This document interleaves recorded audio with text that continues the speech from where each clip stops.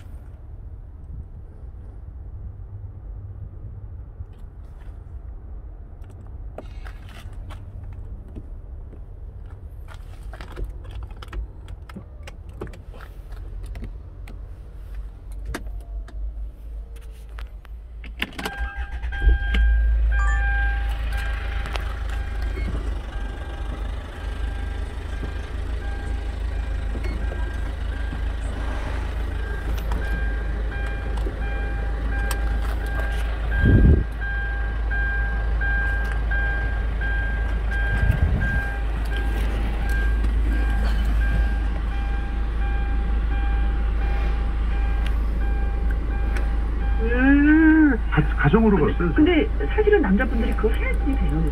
그래서.